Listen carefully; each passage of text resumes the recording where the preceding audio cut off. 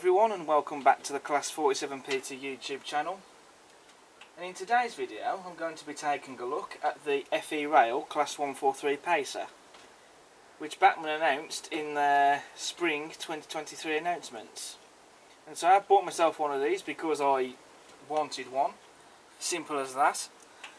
And this is also going to be the last review I'm going to be filming on the current layout because as soon as I've done this video the rest of the layout can be ripped up and then we can make a start with the rebuild. So, I'm not going to waste any time. Let's get this model open and get this video over and done with.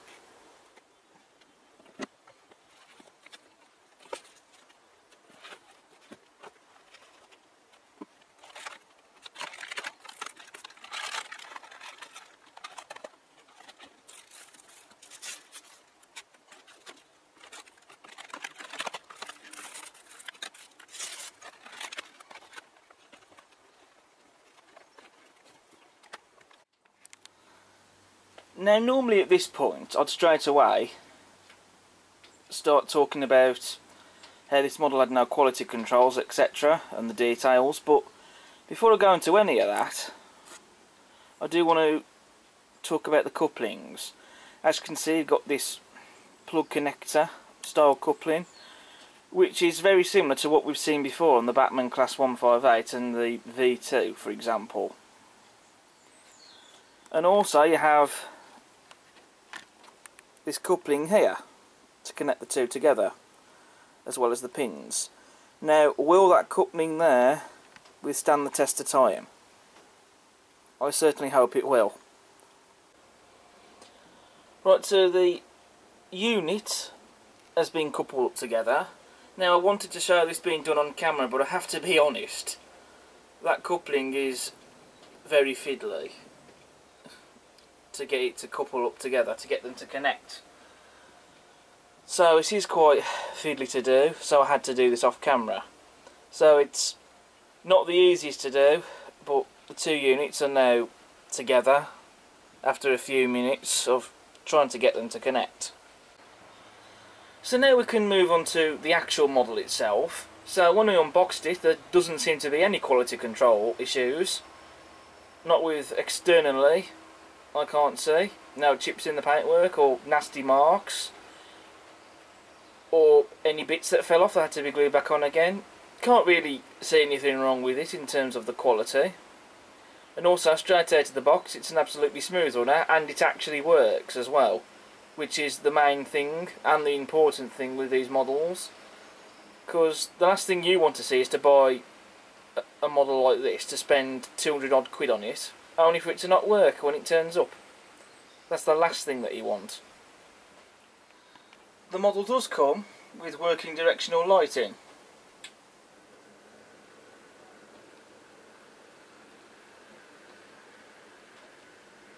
The destination boards also light up as well. So as you can see there, you've got the lit up destination boards and the headlights and the interior lights which I will come on to in a bit.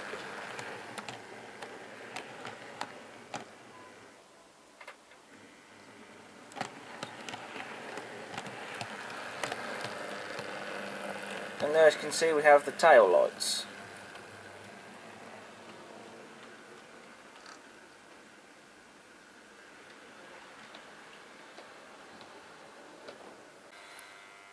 Now I have turned the lights off completely to show this. So as you can see that's the interior lighting that I'm now showing. First of all, there's no light bleed. I did see photos somewhere that one of the models, the Class 144 in the Regional Railways livery had a small amount of light bleed. Looking at this model, there doesn't seem to be any, as you can see clearly. Which is great, because the last thing I would want to see is have to spend 212 quid on this model and then it has light bleed, which wouldn't be acceptable at all. However, the interior lighting on this model does look to be quite bright, as you can see.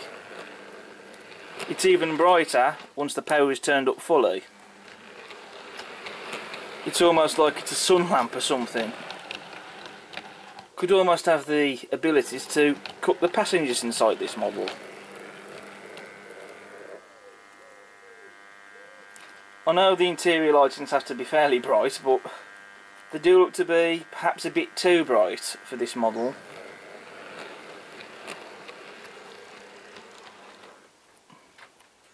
So perhaps they could do with maybe being a little dimmer.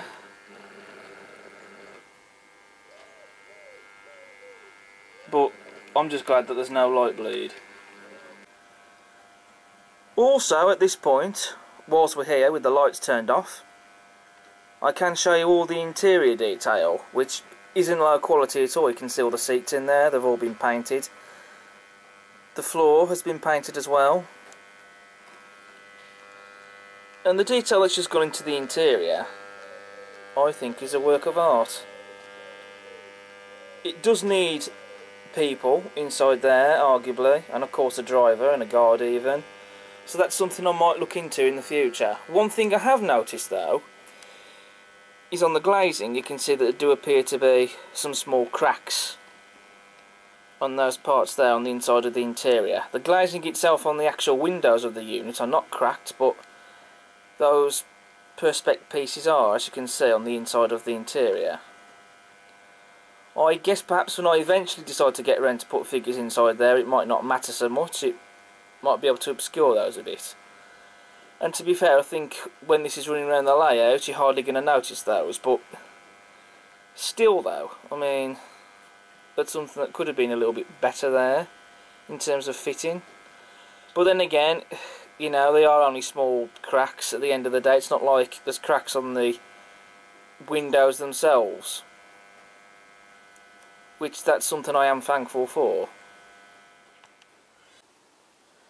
Now interestingly with this model, and I could be wrong here, because I have heard more than one different side, but apparently this is a model that's been inspired by the Realtrack model's tooling. Does look similar to the Realtrack tooling, but apparently it's a model that has been inspired by the Realtrack model, as it's not the same as the Realtrack model. Interesting. I mean, again, I could be wrong there, but I'm not going to dwell into all of that. As for the model itself, I am pleased that I did get one of these because I did want a pacer for the fleet. I know that the pacers are very marmite. You either love them or you hate them. There's some people out there that do love them, and arguably there's plenty out there who absolutely can't stand the things. But regardless, whether you do love them or loathe them, they are important in railway history and you have to respect that. Well, so now we can actually move on to the detail. So first of all, does this look like a 143? I would say so, yes. I know there have been some deliberate errors with this model, apparently, from what I understand. But when I look at it, it still definitely looks like a 143. So I think to be honest, any of the deliberate errors that this model may have, I think are perhaps subtle. It still definitely looks like a 143 and the model regardless, even if there are some deliberate errors, it still looks the part. This model comes fitted with slim tension lock and M couplings. They will be getting replaced with the couplings, the dummy ones, that are supplied in the accessory bag. So I shall be fitting those. Probably before we come into the running session part of the video actually. They've also captured the face of the unit spot on. They've got all the details there spot on and correct and the proportions and the detail. You can see there we have a separately fitted lamp iron in the middle of the unit. You've also got a separately fitted handrail there just underneath the windows. You've got the unit's running number 143622. Correct style numerals and they've been crisply and well applied. And also on the window frames you have rivet detail And just look at the detail that's gone into the window wipers. They're separately fitted, they're not moulded. And the detail on those looks stunning. Especially given the finesse that they have. Just look at how fine those wipers are. You've also got the TOPS data panel crisply printed and well applied on the front of the unit as well. Moving to the underframe detail, you can see we have footsteps, axle boxes and springs, battery boxes and so on. And all the detail that's there, that's not moulded, that's separately applied. Couple of features that this model has. First of all, on the underframe of the model, you have these switches. So these are to turn the head and tail lights on or off, which I think is a nice feature. You've also got these boxes over the axles on the wheels, and that's on both units. And you remove those boxes, and that reveals the gears. So then you can lube them up when you need to do so. You also have some separately fitted handrails there, as you can see, on the doors. And they've been very nicely picked out and painted as well. Going down along the bodywork, we do have some rivet detail which is present and correct. So it's always nice to see the rivets. Sticking with rivets, there's plenty of those on the cab roof, as well as the roof vents as well.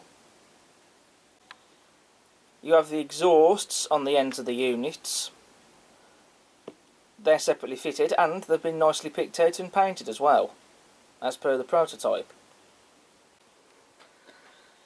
So this livery is the Tyne and Wear PTE livery, which for some reason I haven't mentioned until now. And I do think that this is a very striking and attractive livery. And I do think it's a livery that suits these units rather well. Moving on to the livery application, now I just want to quickly point out, if it looks like that this model looks like it's banana shaped, it isn't. It's to do with the baseboards on this layout. Looking underneath the layout I can see that they are dipped.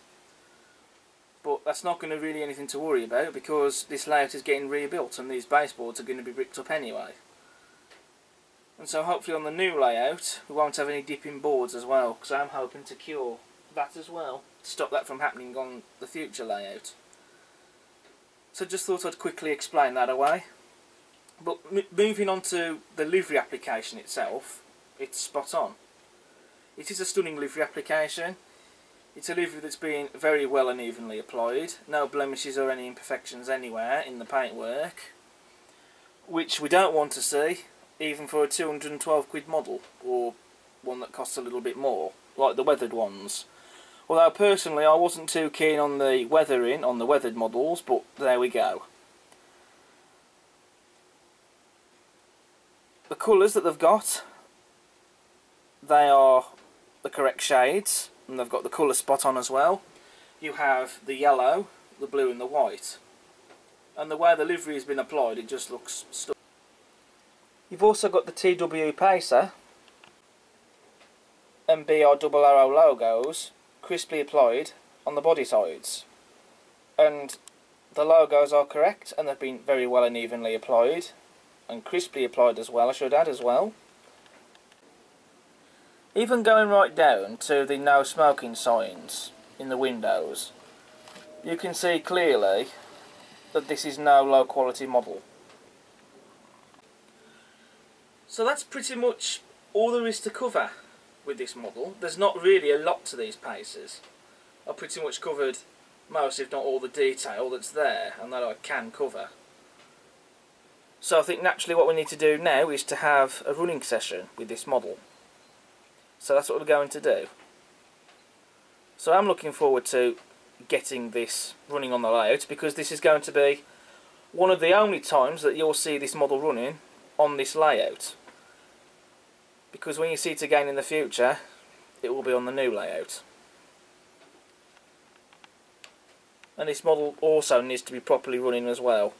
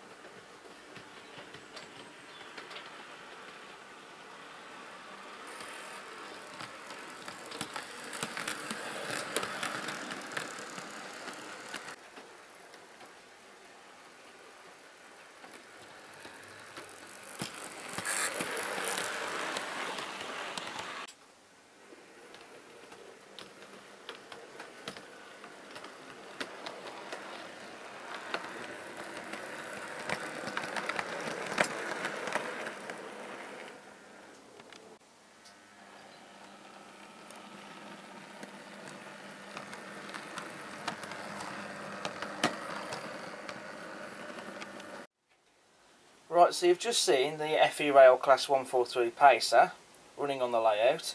A couple of things I should point out during the running.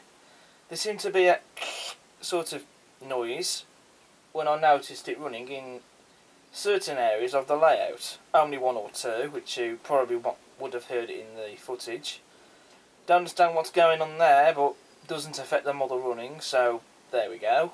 Also, I did add a couple of shots of the 143 going into the bay platforms, which that will be the only time that you'll see that model using those bay platforms.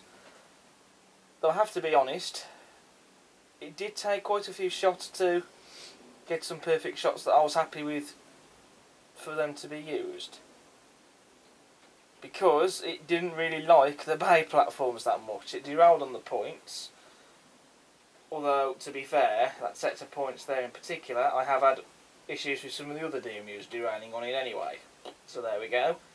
Didn't particularly like the slightly sharp curve on that bay platform either. But there won't be any bay platforms on the next layout. So I will make sure that the curves obviously are going to be a lot more gentler. So there won't be any issues there. But, you know, regardless, apart from those little things, it's run around the layout pretty well no issues with derailments or not being able to go around the sharp curves on this layout, which are basically just train set type curves. She ran around the layout pretty well.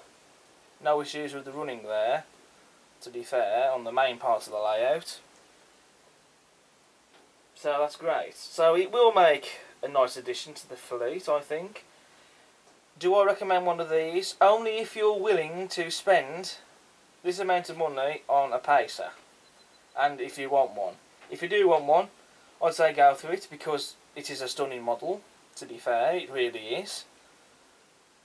If you're not willing to spend that much money, then I would probably suggest waiting to see if there's going to be a price drop. But am I glad I bought it? Yes, I am. It will be nice to have in the fleet. It's something to bolster the DMU fleet in the collection and it will be just nice to have this running around on the layout. It's something a little bit different. I wouldn't say I massively love pacers in real life, I don't hate them, certainly not. I can celebrate and respect them because they are important in railway history, but I'm not massively in love with them, Oh, I will be honest. But I don't hate them, and to be fair, whilst they're not perfect, they're not I would consider to be, they're not the worst train in the world. I certainly don't think so. But you know, make of them what you will or won't.